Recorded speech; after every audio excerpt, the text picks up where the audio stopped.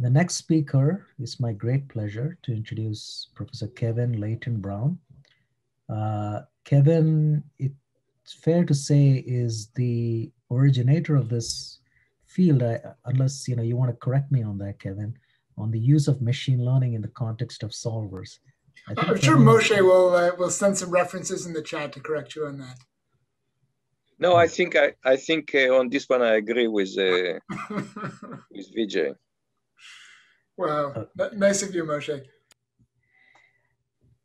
And uh, so Kevin is a professor of computer science at UBC, got his PhD at Stanford, and he has won many awards for his research, uh, including an NSERC EWR Steacie Memorial Fellowship and uh, several other awards.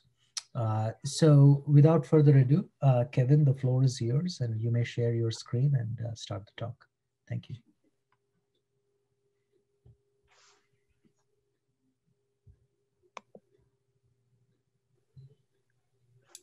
Thanks. You, you think I'd be faster sharing my screen by now after a year in pandemic. Um, uh, yeah, I guess I, I, made the crack about uh, uh, Moshe sharing the references because the truth is this field goes back a long time, and uh, particularly into systems and you know all, all, kinds of you know different places that kind of ML for solvers kind of cropped up um, before they kind of got unified into this uh, this community that we have today but uh, but I think it's really exciting that we're at the point where we have Simons workshops dedicated to this topic. I think this is a really exciting thing. Um, uh, I'm going to uh, speak about um, something uh, a little bit less practical than we've heard from the other speakers today. I'm going to talk about um, using um, machine learning to directly predict the um, the result that we would get from a combinatorial solver. Um, given the, the topic of the the uh, the broader Simons um, semester, I'm going to look at uh, propositional satisfiability, and I'm going to survey a, a whole range of different work uh, that my group has done over the years, um, culminating in some work on end-to-end learning uh, using deep learning to to predict propositional satisfiability directly from raw inputs to get so I, am going to be uh, throughout speaking about uniform random three SAT at the phase transition not because these are the, the most important SAT problems uh, practically to study. It's obviously a bit of a, a toy problem, but it's a, a very clean, well studied problem that is sort of the, the fruit fly of SAT research. It's you know, empirically hard. A lot of people have looked at it, and uh, we have maybe the best theory about it. So um, it's kind of you know conventional wisdom that at this clauses to variables ratio of 4.26 um, uniform random three SAT problems are um, ha- have a 50% chance of being satisfiable, uh, which is true, and they're empirically hard, uh, which is sort of almost true. Uh, here's um, if we look at uh, actual empirical performance, uh, instance by instance, uh, on a log scale at the phase transition point, you see that in fact, um, you know, this is where this average hardness spikes, but you also see that there's uh, a lot more variation than, than you might have expected. There's still real, really easy instances at this point as well. So um, some co-authors and I got interested in, in the sort of somewhat ridiculous question of saying, could we use machine learning to to try to predict, you know, which um, which kind of instance we've got in hand? If we were at this phase transition point, if we had some well-defined set of instances and we wanted to take some new instance from this set and try to determine, you know, is it um, going to be hard or easy to solve? And so we, uh, in a whole string of work, uh, I'll just have sort of citations at the bottom here, but in a whole string of work culminating in a C- CACM paper uh, in 2014, we said, uh, let, us try to find some instance features of a, a, instance that we could compute in polynomial time that would give us a handle on uh, its combinatorial structure that we could then use in a model to try to predict whether the instance is, is hard or easy. So the most obvious thing you might think of if you've taken a kind of undergrad algorithms class is the size of the problem. So how many clauses does it have? How many variables does it have? What's the clauses to variables ratio? Uh, of course, these will all be constant if I was looking at the, the, uh, the uh, phase transition point. Then I can look at other things like syntactic properties. Um, for example, what's the ratio of positive to negative uh, clauses uh, in the uh, in the formula? I can then build various constraint graphs and say, such as the, the factor graph, the clause clause graph, or the variable clause graph. And I can ask things like, uh, what are the average degree statistics in the graph, or what are path lengths in the graph, or how clustered are the graphs. I can use the uh, search space size estimate due to Don Knuth, where you um, you, you look at the uh, you make sort of random probes um, in, in, a sort of DPLL space and say what's the average depth in the tree, and uh, and that's a, a, an estimate of the log number of nodes in the tree. Um, I can do um, look at the cumulative number of unit props that I would get at different depths using a, a, given heuristic, like the SATZ heuristic, and say um, how amenable to this heuristic does the uh, uh, the formula appear to be. I can take local search algorithms, even if uh, the algorithm that ultimately I'm interested in is not a local search algorithm, and I can say, um, using some bounded amount of time, um, what happens when I run the local search heuristic? Do I um, do I find that I um, you know quickly reach a plateau, or does it improve a lot, or, or how much variation do I get in the kinds of um, trajectories that I see in this sort of bounded local search unrollings? Um, across different random restarts of the local search heuristic. And finally, I can take a, a linear programming relaxation of the problem, um, and uh, and then I can look at the slack vector of this um, linear program, uh, the uh, uh, you know, how far from integral the uh, the variables in linear programming relaxation are, and and um, take like a norm of that vector or a, a coefficient of variation of that vector, um, get, get a sense of how close it is to integral. So, so we built all kinds of features like this. You know, I, this wasn't meant to be uh, comprehensive, and it certainly wasn't meant to be formal. But it gives you a sense of the, the kinds of things you could dream up, and um, you, you could probably dream up more.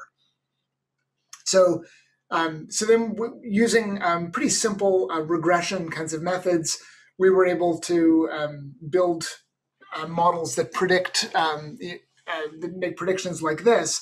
So here I'm saying on the x-axis what was the actual uh, runtime on a log scale um, of uh, a stat solver like KCNFs, and on the y-axis, uh, what do we predict the runtime to be? And you know, we would like to exactly nail this this diagonal red line. And uh, what we got here was uh, pretty good. You know, it's always hard to sort of eyeball a scatter plot, and I could give you numbers which are also kind of hard to interpret. Um, but you know, we're, we're able to do um, reasonably well in in predicting um, unseen problems at the uh, phase transition point where um, the to variables ratio is telling us nothing.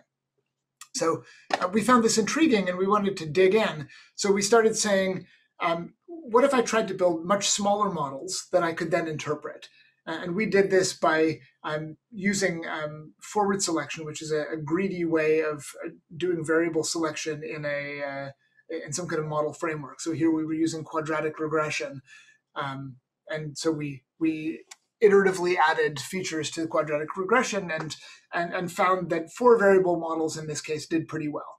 So so here was a good four variable model, and here's how much it hurt us to lose uh, just scaled to uh, 100%. Here's how much it, it, cost us to lose each of these four variables. Uh, and so you see the last one was the least valuable. And, and interpreting this, we can see that uh, these local search um, probing features that I told you about were important all over the place. So every one of these four um, um, quadratic um, features that, that we've learned here includes one of these uh, uh, local search probing features. And um, uh, Donald Knuth's uh, search space size estimate feature featured in two of the four, and the uh, variable clause um, um, graph uh, node heuristic um, also features in the last one. So, um, so this gives us some sense of what's what's going on in terms of understanding how these models are able to make good predictions. Um, let me shift for a minute to um, variable um, ratio problems. So here we're we're sampling around the uh, the phase transition. Not only at the phase transition, we're able to predict much better in this point. Um, and here uh, I'm going to color our predictions by whether the problems were satisfiable or unsatisfiable. And you see uh, a, a, kind of interesting trend here that the uh, unsatisfiable instances are, are predicted much more accurately than the satisfiable instances, uh, which might make sense to you because in the in the case where an instance is unsatisfiable, unsatisfiable you've got to search the entire tree, and uh, so, so, there's going to be much less variance uh, across uh, sort of random noise. Whereas the the heuristic that um, stops as soon as it finds a satisfying assignment um, might be more um, easily manipulated by slight variation in the problem instance, and so we might get more um, more variation in runtime. So so we certainly see more variation anyway in the uh, uh, predictions of our um, our models. So uh, we were intrigued though by by the uh, the great difference between the quality of our predictions for unsatisfiable and satisfiable instances, and this led us to ask whether we could build much better models if we imagined that we knew the satisfiability status of an instance. Um, uh, of course, this means the, the clauses and variables ratio would be unimportant. Um, and indeed, it turned out that single feature models in this case became sufficient. So um, when um, instances were satisfiable, then turns out those local search probing features that I told you about before were all you needed to make good predictions. And when instances were unsatisfiable, then those search space size estimates turned out to be sufficient to make good predictions. So, um, of course, we don't know the satisfiability status of an, issue, an instance. If we did, uh, we wouldn't presumably want to run a SAT solver in the first place.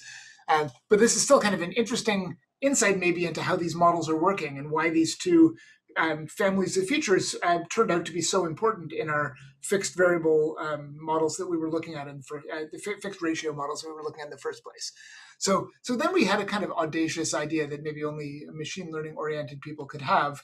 We wondered, could we build a kind of hierarchical model that would begin by predicting satisfiability status, and then it would condition on this prediction uh, as a feature to combine the predictions of the SAT only and unsat only models that, that we had just seen worked well.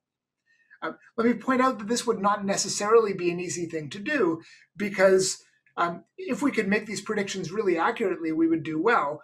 But these SAT only and unsat only models do egregiously badly when they're given um, the wrong input. So uh, if these predictions ever went wrong, uh, our models uh, could potentially be terrible. Um, nevertheless, we showed um, in, in, joint work uh, with Ling Xu and Holger Hoos back at CP in 2007 that, that we could do much better uh, with this kind of an approach. So uh, here's the, the same graph I showed you before on the left, and then a graph on the same data using this hierarchical hardness model approach. And you see that we really managed to reduce the variance substantially, um, uh, especially on the uh, especially visible on the uh, unsatisfiable instances. So, um, so let me go back uh, for the rest of the talk to, to fixed ratio. I, I just had uh, the variable ratio problem, so I could show you this picture, which was on variable ratio. But uh, going back to fixed ratio, uh, for the rest of the talk, I don't want to think about predicting runtime anymore. That's really just how we came to this problem. But I want to instead really think about this, this question of satisfiability status. So from that work, I, here's the models that we had predicted at the time, uh, that we built at the time, and here's how they how they worked. So uh, these models predicted a probability of SAT. They didn't just predict a, a kind of discrete class of whether something was SAT or not. And you see that as the model became less uh, less certain about uh, the satisfiability status, it also became more wrong. So the model was uh, relatively calibrated in, in, its predictions. Um, we, we then went um, again with Ling Xu and Holger Hoos into a deeper dive into trying to understand does it really make sense to think that we could predict the satisfiability status of um, a phase transition instance, uh, which we, we kind of believe to be a hard distribution of problems. So to try to understand this better, we tried to tie a couple of hands behind our backs and, and build something um, that, that, would persuade us more fundamentally that this was even doable. So we considered phase transition instances um, that varied from 100 variables which are problems that are solvable in milliseconds, uh, even back in 2012 when we did the work, um, to 600 variable problems, which were solvable in about a day um, back in 2012 and now still take kind of hours. And um, what we wanted to know was as the um, problem size is scaled up, would prediction accuracy fall to random guessing as problems get bigger? Um, and if not, can we identify some easily comprehensible model that would offer theoretical insight into what was going on? And, and th- this sort of experimental setup was uh, inspired by conversations with some theorists, uh, I think uh, in part at Simons, um, who um, wanted to uh, you just didn't believe that that it, this was uh, really going to be possible to do. They thought it might just kind of be a, a small size effect. And of course, because all of our um, experiments are empirical, I can't really ever say that this isn't a small size effect because whatever finite size I look at, you can always tell me is small. But uh, but but here's the best I can do to try to argue that this isn't a small size effect. So what we did is we trained only on these millisecond solvable instances, the 100 variable instances. Um, and uh, the reason we didn't go even smaller is we didn't want uh, problems that were kind of were solvable in cache. We wanted them to to involve some amount of search, um, so that they would be in some sense representative of larger instances. We considered only models that use decision trees with at most two decision nodes, and we turned off all probing features. So probing features are things like um, the local search probing, like Donald Knuth's search space size estimate, like the um, use of the uh, um, SATZ heuristic to look at unit propagations, all of these kinds of things that run solvers for a bounded amount of time, because using bounded amounts of time uh, isn't going to scale from one size to another. We wanted instead features that looked at some kind of structural property of an instance that would be well defined from one size to another, so that we would believe that it would actually capture something combinatorial about the instance. Um, and uh, and we wanted to see, you know, would it still be the case that uh, that we could build something that would do well on larger instances?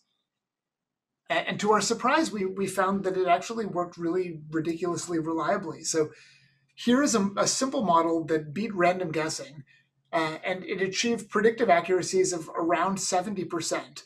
Um, you know, bearing in mind that that 50% of the instances were satisfiable and 50% were unsatisfiable. So random guessing would get you 50% and uh, we were getting 70%. You know, I don't re- recommend you throw out your SAT solver and use this model instead. But, uh, and by the way, I should also stress to you, this model doesn't give you a certificate of satisfiability. It just gives you a guess, uh, which is 70% accurate. But uh, I think it says something about the learnability of, uh, uh, of this class of problems nonetheless. And I think it, it offers some interesting kind of grist for theoretical insight. So here's what the model did. It said, um, first of all, let me uh, let me look at one feature uh, to do, uh, and I'll, I'll, say more actually in the next um, slide about what these features were. Um, well, actually, maybe I'll, I'll, go into the features in a second. Let me just say what's on this slide. So, um, let me stress to you, we trained this model only on 100 variable problems, and then we evaluated it on problems going all the way up um, to 600 variables. And we saw no evidence that accuracy fell with size. Uh, in fact, if anything, accuracy seemed to improve very slightly with size. Um, and uh, we, um, let, let, let, me show you here what the features were. So, uh, uh by the way, I, I, I see in Zoom um, evidence that something is happening in the chat. I can't see the chat while I'm sharing my slides. I'm very happy to be interrupted by questions. So, if anyone has anything that would be fun for us to talk about. Um, maybe even let me pause now and see if anyone wants to interject. Actually, uh, I, I do have a question. Yeah, please go ahead. Um, and it has to do with the the uh, features that you used in this predictive model. Uh, you did so. You said you didn't use probing features. Probing features, just to remind us, is are features that uh, are about the run of the solver, right? So is, is that fair? Uh, yeah, so probing features are you know take some solver and run it for a bounded amount of time. Okay, and here these were all quote unquote like structural features, just formula features, if you will, right? Sure. And, and could you tell us what those features were and how many of them did you use to construct your model? Uh, so you're looking at the model. Oh, uh, okay. uh, the model is this decision tree. it is a oh. two node decision tree in two features. And uh, this slide exactly defines what those features are. Okay. So so the model says, let me compute the coefficient of variation of the LP slack vector, which I'll define in a second. If it's bigger than uh, you know four thousandths, then return sat. Otherwise, look at the um, the, the this uh, this feature that has to do with the ratio of uh, positive to negative um, uh, occurrences of variables, and if that's a little bit unbalanced, then return sat is again, and otherwise return unsat. Um, that's that's the entire model. Um, and it's able to give you 70% predictive Yeah, isn't that crazy? Yeah.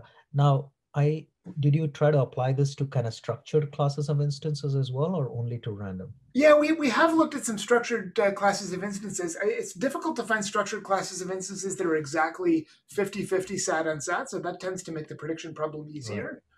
Um, so, one reason why this is a nice kind of test set for us to look at is that uh, it, it kind of is, is about as hard as possible to, to, to sort of cheat at. Um, but uh, but yeah, we, we haven't found that this this sort of phenomenon is uh, is restricted to uniform random three SAT. I'm assuming subsequently you're going to talk a little bit about SATzilla as well, where you considered a much larger set of features to, uh, to where you're using it for algorithm selection, but um, there you're predicting runtime as opposed to satisfying. I'm not actually. For the rest of this talk, um, I'm not going to speak at all about uh, okay. Okay. runtime predict runtime prediction again. But I, I guess I'll say um, that this this two node decision tree was based on this set of maybe almost 100 features, kind of from this space. Um, having mm-hmm. thrown out the uh, the probing features, so it isn't that I only gave it those two to look at. Um, those are the two that it picked out of a much larger set, and indeed, this is the set that we use for SATzilla and for for uh, SMAC and, and some other things as well. Thank you. Cheers. Um, sorry, so let me go ahead to uh, to this result. Um, so, you know, so the, this first feature, so we're only using two features, but let me say the features are a little computationally powerful, right? So the, the first feature is based on solving a linear programming relaxation of the SAT problem, which takes sort of roughly cubic time. So you solve this LP relaxation, um, and then you look at the, the variables in the LP relaxation and you ask um, how close they are to being integral. Uh, so you make a variable, a, a vector uh, for each of these variables saying how close it is to integral. And then you look at the coefficient of variation in that vector. So uh, although that's only one feature, it's kind of doing a lot of work.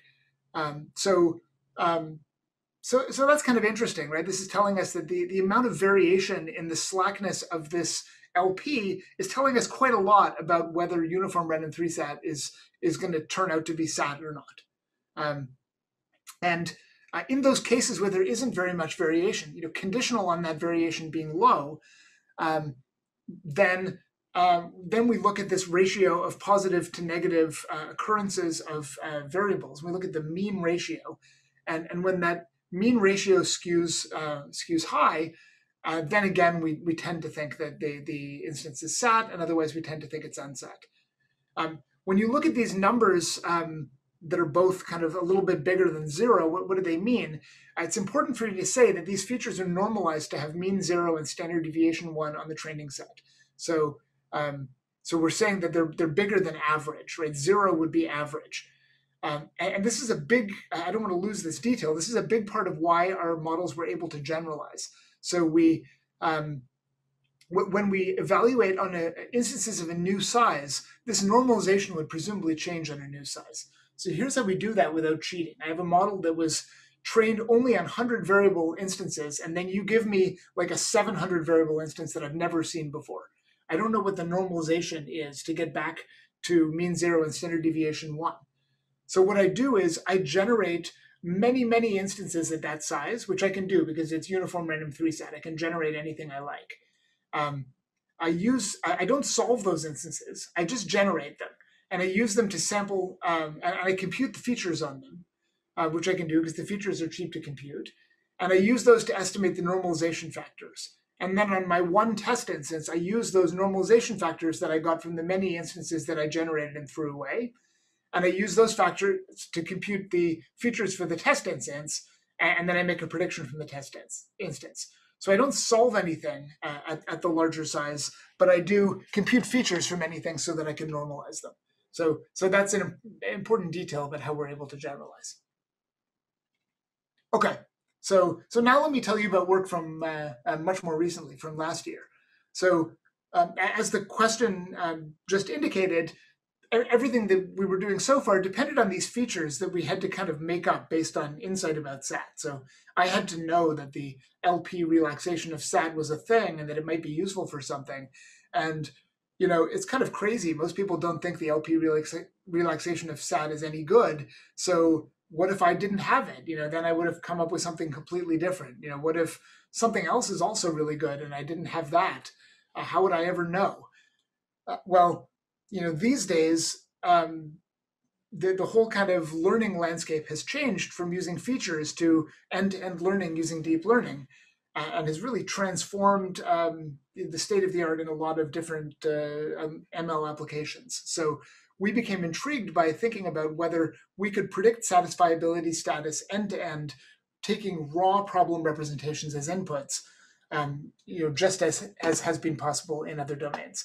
Uh, this is joint work with uh, um, uh, my students, um, Cameron Chen in Hartford, um, and uh, Chris Cameron, the, the lead author on this, is uh, also a visitor in this Simon semester. So I encourage you to reach out to him uh, if you have uh, if you're interested in this work. So um, let, let me just say, you know, end-to-end learning, you know, people talk about it being kind of totally end-to-end. Let, us take an example. Uh, you know, there's a little bit of a fly in that ointment. So, so let's think about com- uh, computer vision and how that worked. Um, in computer vision, you know, it used to be that feature engineering was the name of the game. Um, you know, David Lowe, who used to be in my department, um, made his uh, career on um, having come up with a set of features back around the turn of the millennium for machine uh, vision.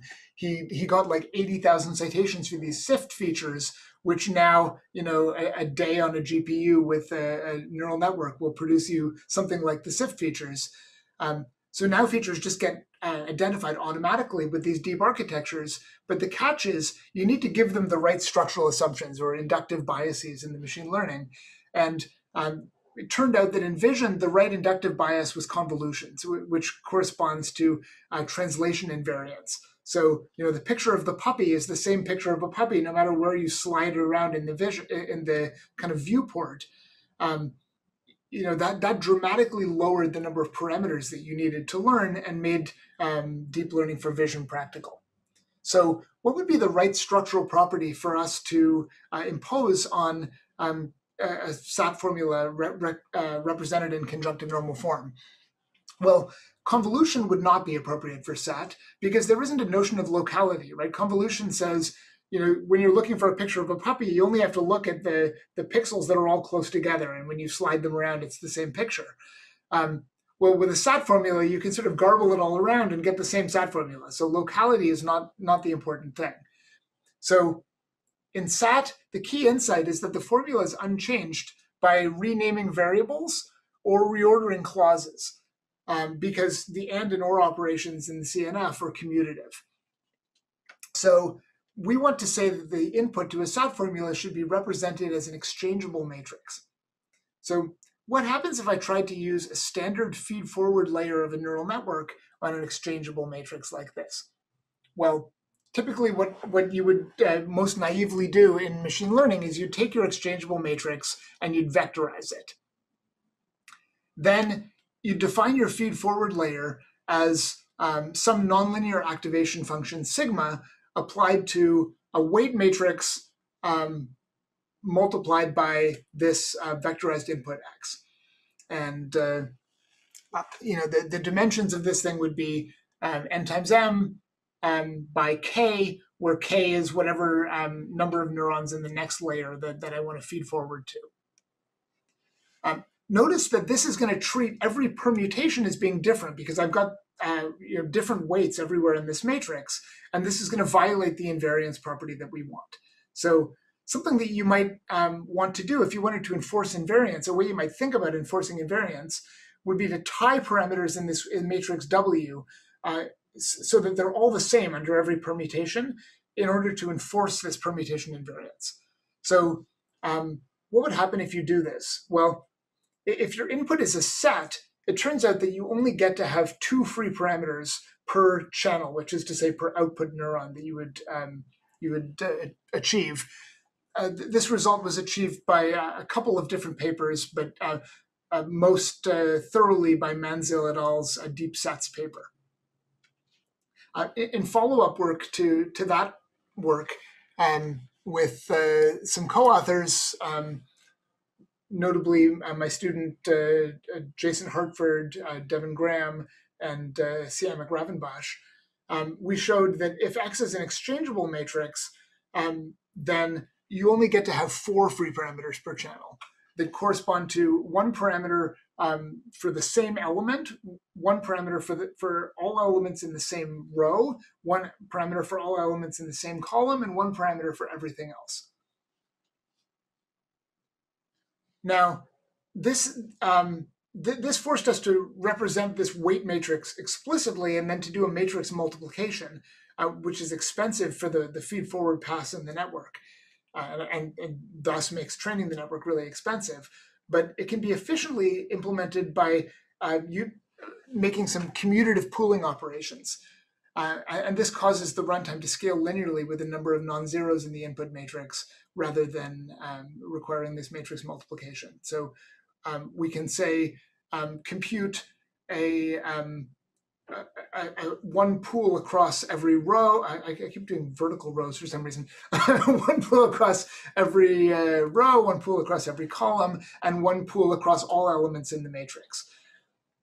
And uh, um, notice that uh, when, when we're not representing W explicitly and we're just speaking about pooling across rows, columns, Evan, uh. Oh, yeah, please go ahead. Uh, it, this may be a good time to maybe go back a slide because I, I really want to understand what you're saying here. Yeah, sure. I understood the problem that you mentioned, which is yeah. um, the uh, actually. Can you go back one more slide? Yeah. Uh, or yeah. Right. So so Who's here. Speaking? I, I, everyone else can probably see who it is, but I, I don't oh, see it. Oh, sorry, it's me, Vijay. Oh, hey, Vijay. Thanks. Hey. That's what I thought. But. Uh, uh, okay, so the the issue here is you know you vectorize the input formula, right? And then you uh, you're doing this uh, multiplication with this matrix here, but the problem is that it violates the permutation invariance that's associated with Boolean formulas. So in order to fix that problem, you tie the parameters in W to enforce. What do you mean by that type of parameters? So, so what I mean is, um, so so I, I, want my W instead to to look like the W on the right. Um, so so this kind of crazy uh, quilt structure here uh, is is a way of saying I only want to have um, four possible parameter values. So uh, I don't know. Can you see my mouse moving around? Yeah. Yeah. So so, so never mind this. Th- this last column here is x, right? So so this the, the rest of this thing is w, and there's only four colors in w here. So what I'm mm-hmm. trying to say is I, I'm, W is only really allowed to have four distinct numbers in it, which are defined by these four colors. And then I'm, I'm going to take these these four numbers and build them out into a W that's structured like this. So one one parameter is going to be on the diagonal, and that's going to. Uh, so um, it was important here that I said uh, consider the case of k equals n times m. So I, am trying to build uh, a next layer that's the same size as as my um, my input. So I've got a square matrix here. Um, so so so I, I've got one one element here that's the diagonal. So that's saying uh, for every element, I'm going to give back the thing that I got. Um, and so permutation means um, I, that's going to have to be the same everywhere. So that if I if I permute something, no matter where it is, I'm always going to give back the same thing that I got and, and, and that's sort of the easiest one to see. But um, similarly, um, everything in the same row, everything in the same column, you know, it's got to behave the same way under under permutations. So, so if you if you think about you know what happens if you sort of start with an unconstrained matrix and sort of play the game as I permute rows and columns, I don't want uh, anything to change in the output when I do a permutation. What does that mean about what has to get tied? Um, you know, you end up with a picture that looks like this. Um, these are the only degrees of freedom that you're allowed to have if you want the same thing to happen under every permutation. Yeah. Um, and uh, and and then this is just a way of saying, you know, given that I really only have these four parameters and then building out this W implicitly, um, surely I don't really need to build out this this actual matrix and do a matrix multiplication that was all based on four numbers. You know, surely there's some implicit way that I can get the same answer out. Um, and, and, you know, indeed we can by just kind of taking sums and just storing these numbers based on sums. Um, and uh, and the last point that I was wanting to make, which is important, so let me return to it, is uh, is now I actually don't really have dependence on the size of the input, right? Notice um, with, with, the the feed forward thing, you know, it really I actually had this explicit W matrix that was um, n by m, right? So it really cared about the number of clauses and variables. My whole model was trained based on a particular number of clauses and variables. But now I've only got four parameters, four is a constant. It doesn't depend on n or m.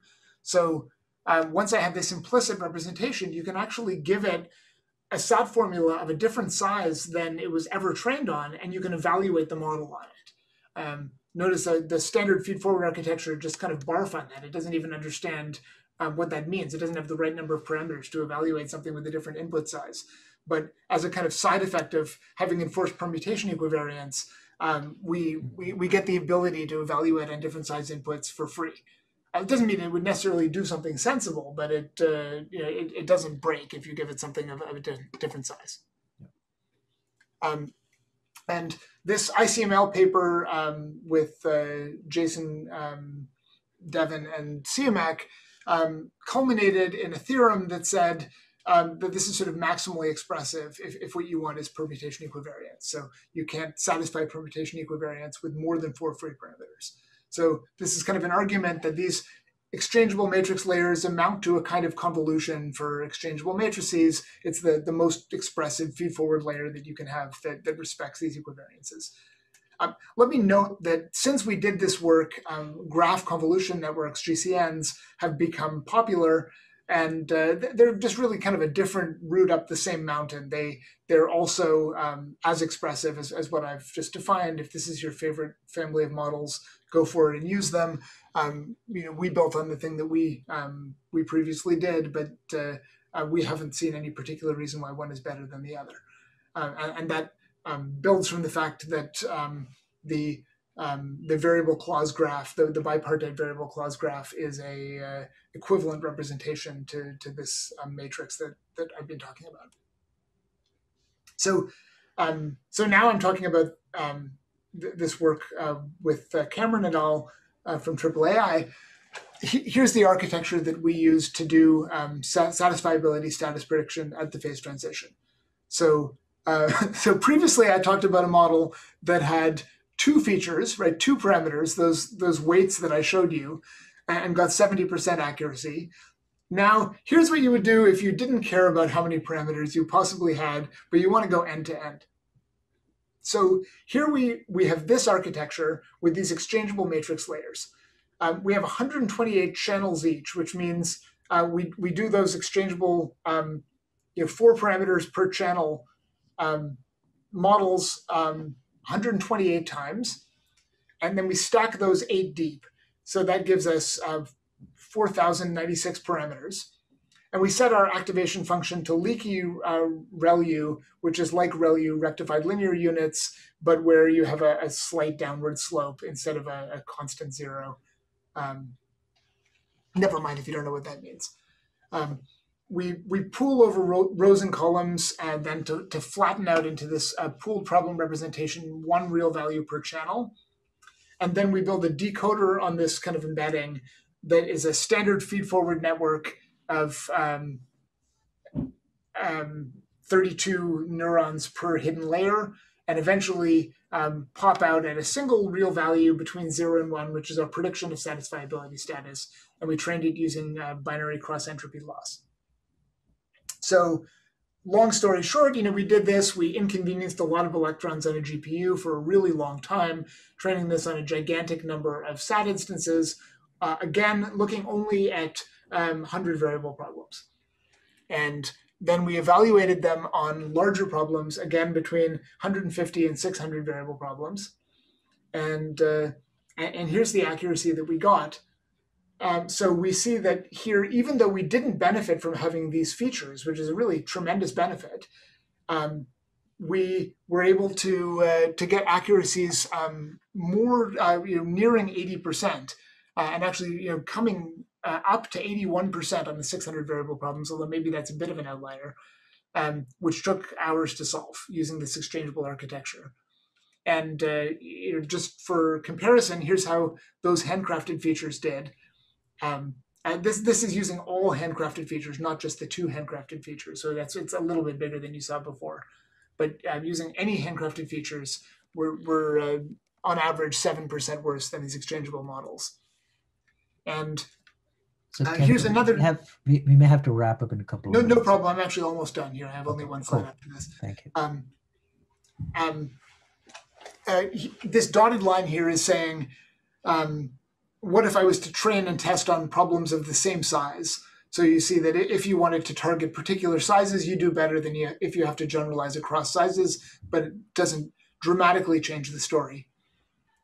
And here's the last thing I want to say. Um, if you uh, the, the the other benefit of these exchangeable models is that they're dramatically cheaper to evaluate. So the uh, recall that our um, our handcrafted features required uh, uh, cubic time. They required solving linear programs uh, on every input, and and that scales um, you know badly as as problems get bigger and bigger.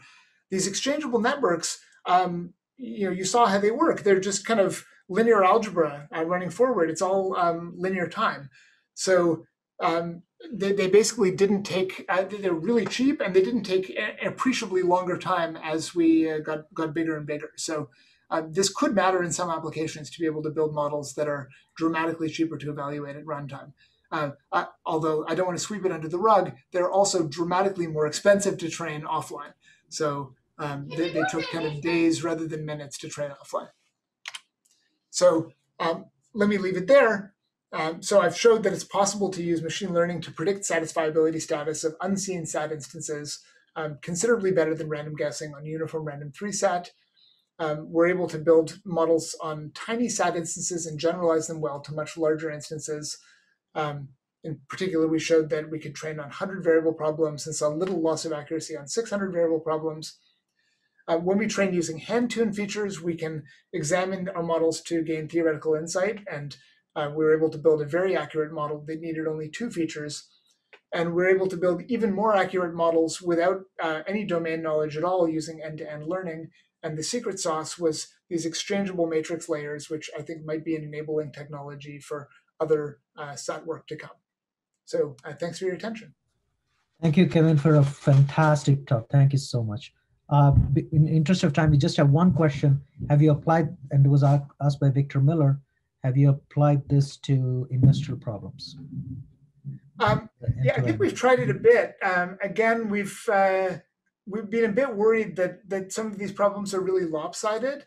Um, the the other real catch um, is the GPU methods that we're using are really limited by the the the uh, sorry the, the end-to-end methods uh, have to run on a GPU. They're really limited by the size of GPU memory.